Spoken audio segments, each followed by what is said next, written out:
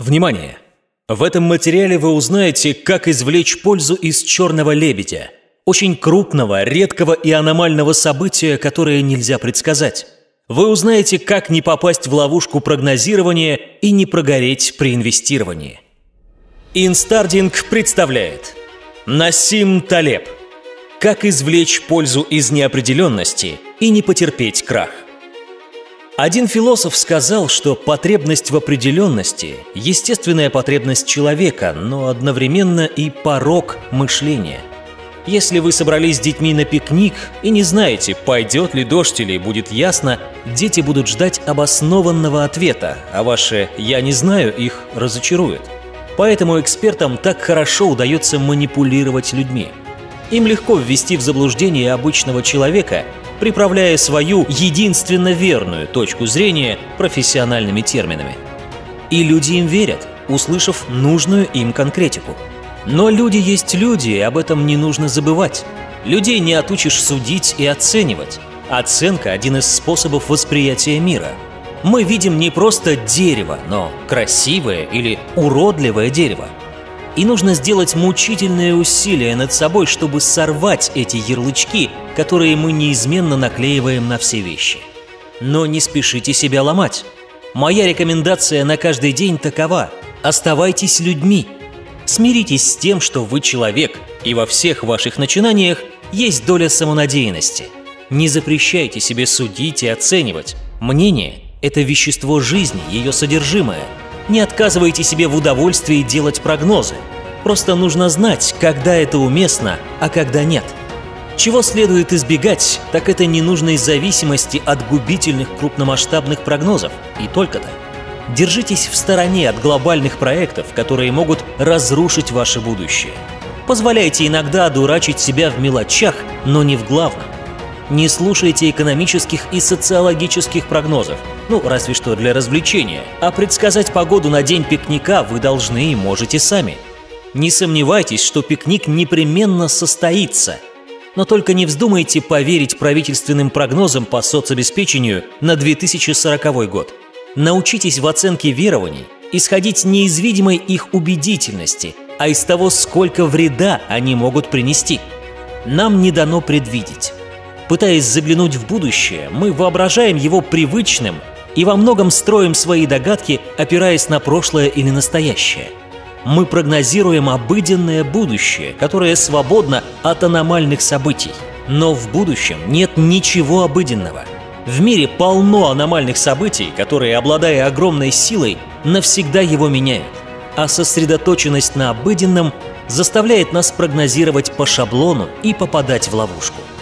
Убедившись, что попытки предвидеть будущее обречены на грандиозный провал, многие наверняка почувствовали себя неуютно и теперь не знают, что им делать. Но ведь даже расставшись с иллюзией полной предсказуемости, можно делать очень и очень многое. Просто не нужно забывать о пределах своих возможностей.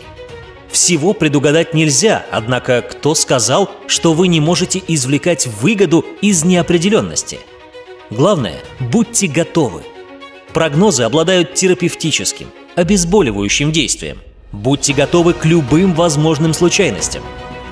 Также никто не отменял метод проб и ошибок, который в том и состоит, чтобы пробовать как можно больше. Но дело в том, что нам психологически и интеллектуально сложно встать на путь проб и ошибок и смириться с тем, что полосы мелких неудач – неотъемлемая часть жизни – один мой коллега подметил, что почти все люди предубеждены против неудач. Его девиз «Учитесь любить поражение». Я сразу почувствовал себя своим в Америке именно потому, что американская культура поощряет даже неудачные попытки, тогда как восточная и европейская культуры считают поражения постыдными и клеймят их позором. Рисковать в мелочах за весь остальной мир стало профессией Соединенных Штатов – и поэтому Америка сохраняет безоговорочное первенство в мире по количеству инноваций. Другие страны только доводят до совершенства продукты и идеи, которые рождаются в Штатах.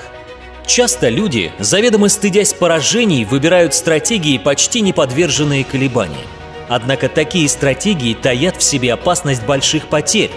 Это все равно, что подбирать десятицентовые монетки на пути парового катка – В японской культуре, плохо адаптированной к случайностям и не допускающей мысли, что бывают проигрыши по неудачному стечению обстоятельств, убытки могут серьезно подорвать репутацию человека. Люди не выносят неустойчивости и подчас выбирают стратегии, грозящие крахом, а потом некоторые кончают жизнь самоубийством, потеряв все, что было. Более того, это предпочтение риска неустойчивости рушит даже абсолютно стабильные на первый взгляд положения – вроде должностей служащих в IBM в 90-е годы. Наемный работник в случае сокращения остается на бабах, идти ему некуда. Тоже относится к обладателям защищенных профессий. У независимого консультанта доходы, конечно, нестабильные, так как доходы его клиентов колеблются, но и голодным он не останется, потому что его навыки востребованы. Другой пример. Страны с диктаторским режимом, такие как Сирия или Саудовская Аравия, где на первый взгляд все очень стабильно. Однако риск того, что страна сорвется в хаос, гораздо выше для этих государств, чем для той же Италии, где со времен Второй мировой войны в политике творится нескончаемая чехарда. Я вплотную столкнулся с этой проблемой в финансовой сфере. Часто консервативные банкиры сидят на пороховой бочке, но упорно не замечают этого, потому что их работа кажется спокойной и вполне устойчивой – а сейчас я расскажу вам о стратегии штанги и как применить ее в реальной жизни. Эту стратегию я использовал, будучи трейдером, а суть ее такова. Вы понимаете, что ошибки прогнозирования могут вам дорого обойтись, и что методы оценки рисков несовершенны. Следовательно, вам нужна стратегия либо предельно консервативная, либо предельно дерзкая, а не серединка на половинку. Не стоит вкладывать средства в проекты со средним уровнем риска – Откуда вам знать, что он средний? Поверить экспертной тусовке? Лучше вложите 85-90% капитала в максимально безопасные ценные бумаги, скажем, в казначейские векселя. Это ведь финансовые векселя правительства, стабильнее их не бывает ничего. А 10-15% вложите во что-нибудь по-настоящему рискованное, предпочтительно в венчурное предприятие.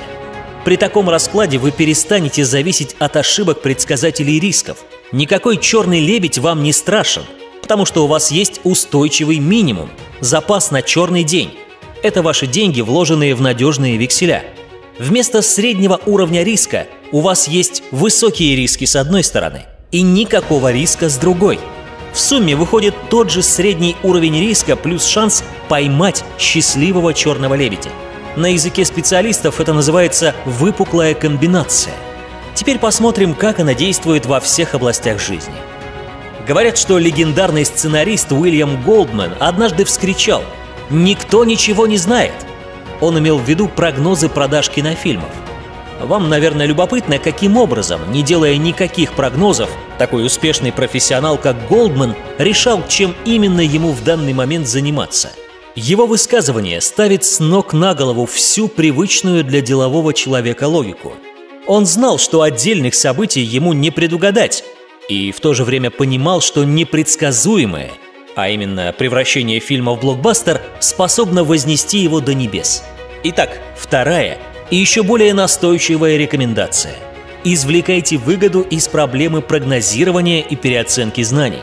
Подозреваю, что успеха в бизнесе добиваются именно те, кто умеет работать в условиях изначальной непредсказуемости и даже эксплуатировать ее – вот несколько маленьких хитростей. Хитрости маленькие, но помогают очень хорошо. А. Прежде всего, умейте отличать хорошие случайности от плохих. Есть такие сферы, где непредсказуемость может обернуться крупным выигрышем, и такие, где неумение просчитывать наперед чревато провалом. Да, черные лебеди бывают разные, и хорошие, и плохие. Уильям Голдман из мира кинематографистов – а там водятся хорошие черные лебеди. Случайности в мире кино дарят порой щедрые подарки.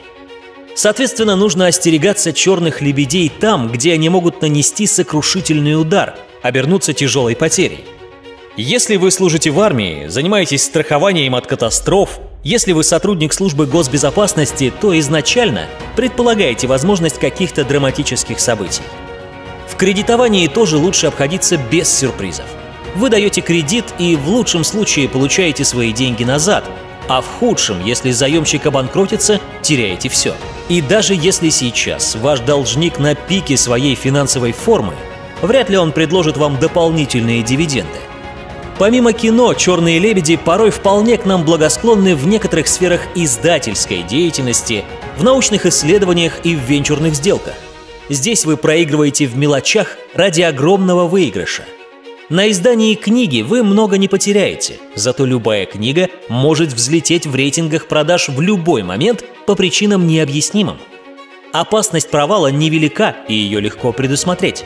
Конечно, у издателей есть свои трудности. За книгу обычно приходится платить вперед, из-за чего шансы на удачу падают, а риск безмерно возрастает. Если издание обойдется в 10 миллионов долларов, то любая книга, не ставшая бестселлером, будет вашим черным лебедем. То же касается высоких технологий. Ваши вложения могут окупиться с лихвой, но можно и отдать деньги за дутую сенсацию. Так люди вкладывались в мыльный пузырь доткомов. В случае подобного невезения минусы случайности практически обесценивают плюсы. Выигрывает от встречи с черным лебедем владелец венчурного капитала, который вложит деньги в компанию с неопределенным будущим и потом продаст акции, а не те инвесторы, что действуют по принципу «я как все». Если вы заняты в подобном бизнесе, то ваше счастье в незнании, особенно если ваши конкуренты тоже ничего не знают, но в отличие от вас об этом не догадываются – а лучше всего, если вы понимаете, что именно вам неизвестно, если вы единственный, кто это понимает. Это отлично совпадает с особенностями стратегии штанги. Быть максимально открытым для хороших черных лебедей и при этом остерегаться плохих. Чтобы быть открытым для удачи, не обязательно досконально изучать структуру неопределенности. Мне не всегда удается это объяснить, но когда убытки сведены к минимуму, настает пора действовать как можно более дерзко, а иногда и безрассудно. Но некоторые люди уподобляют эту стратегию игре в лотерею.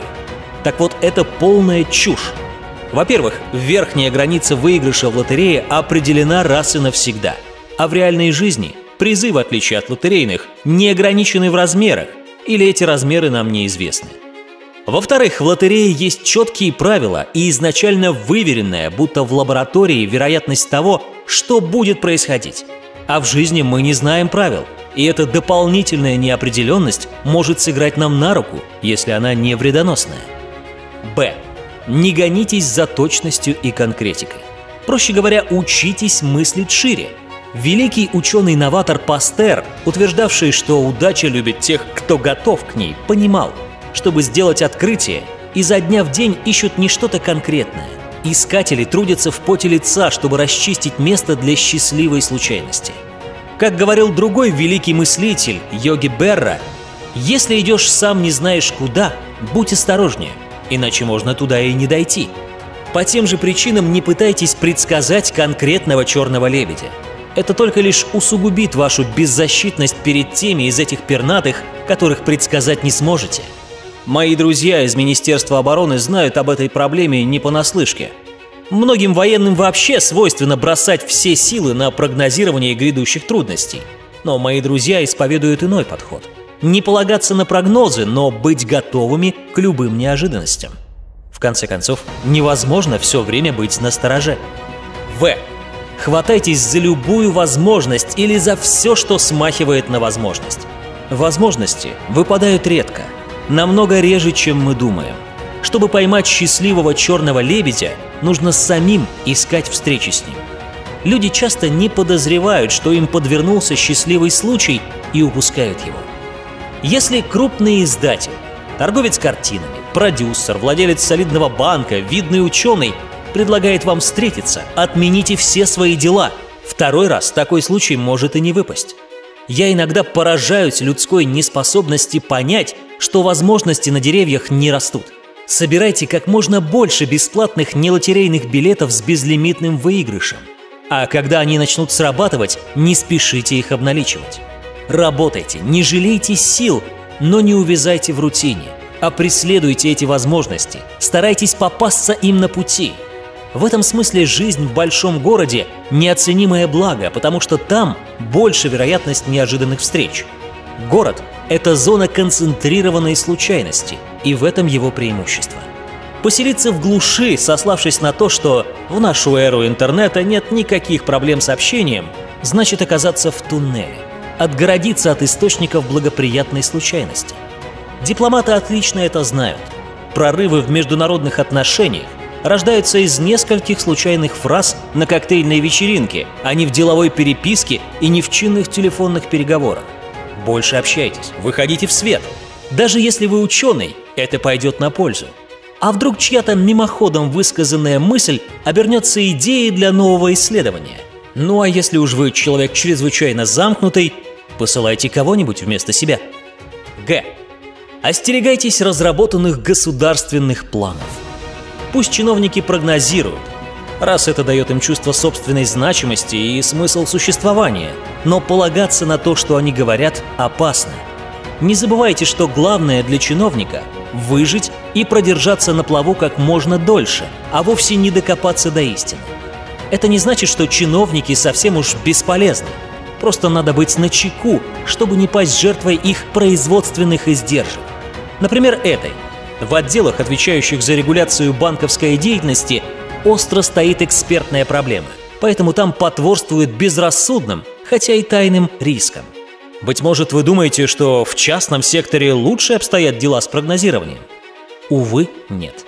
Нельзя надеяться, что корпорации защитят вас от кризисов, потому что их служащие, пользуясь тем, что об их успехах нельзя судить по краткосрочным результатам, обязательно будут играть на струнах системы, изображая хорошую работу, чтобы получить свой годовой бонус. Вот вам ахиллесова пята капитализма. В условиях конкуренции корпораций порой самой кризисостойкой кажется та, что меньше других защищена от негативного черного лебедя. Д. Не тратьте время на разбирательство с прогнозистами, биржевыми аналитиками и социологами. Не стоит сетовать, что все предсказания бессмысленны. Дурацкие прогнозы были и будут всегда, особенно если за них неплохо платят. Вам не удастся положить конец легализованному мошенничеству. Но если уж вас угораздит довериться прогнозу, помните, чем дальше прогноз простирается во времени, тем меньше ему стоит доверять. Теперь давайте подведем итоги. Все рекомендации имеют один общий знаменатель – асимметрию. Старайтесь выбирать ситуации, в которых благоприятные последствия значительно масштабнее неблагоприятных. Так вот, суть асимметричности итогов такова. Я никогда не буду знать неизвестное, поскольку оно по определению неизвестно. Но при этом я могу гадать, как оно на мне отразится, плохо или хорошо, и принимать решения, исходя из собственных догадок и умозаключений.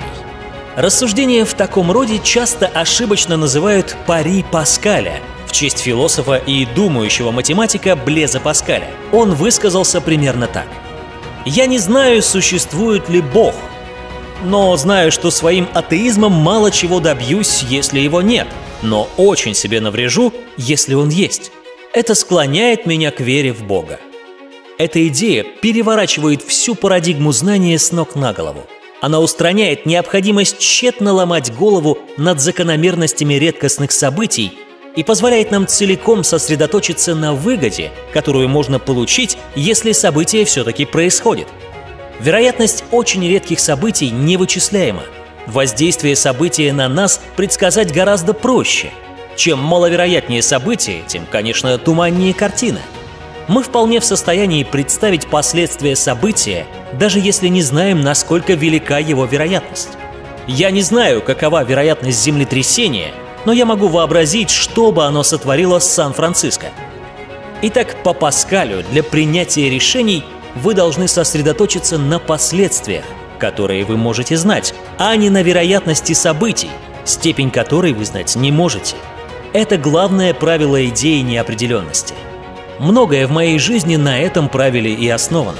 На этом фундаменте можно построить общую теорию принятия решений. Все, что нужно делать, это смягчать последствия. Если мой инвестиционный портфель сильно зависит от стабильности рынка, вероятность денежного обвала я вычислить не смогу. Все, что я могу делать, это запасаться страховкой или инвестировать часть капитала, с которой я не готов расстаться, в более надежные ценные бумаги. И всю нашу беседу я хотел бы завершить таким выводом. Причины нашей неспособности понять происходящее, как говорится, лежат на поверхности. Вот они. А. Переоценка собственных знаний. Б. Стремление все втиснуть в категории. Иными словами, люди охотно верят упрощенным моделям, особенно если у этих людей имеется ученая степень в дисциплине, где не может быть никаких экспертов. В. Негодные методики для конструирования выводов, особенно те, что совершенно не учитывают появление черного лебедя.